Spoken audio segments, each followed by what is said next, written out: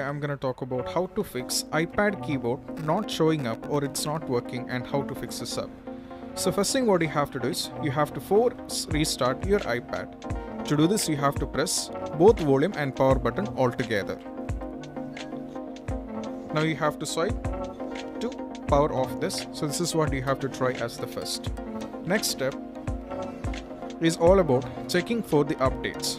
Just make sure self that it is on the latest version of the iOS. To do this, go to settings, go to general and check for software updates and check if any updates are available.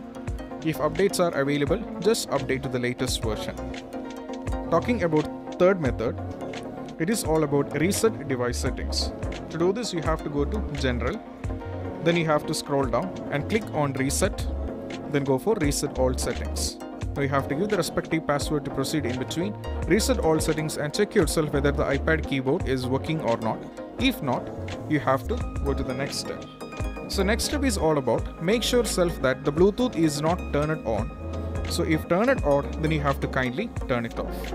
And the next thing is all about just make sure self that you're having enough battery or if it is not available just charge yourself and check yourself whether it's working all good or not. And this is what about some of the possible workarounds you have to try when your iPod iPad keyboard not showing up or it's not working. So that's all about it. And if you find this video helpful, don't forget to subscribe our channel and click on the bell icon for more notifications. And if you have any doubts, do ask in the comment section. This is Shahin of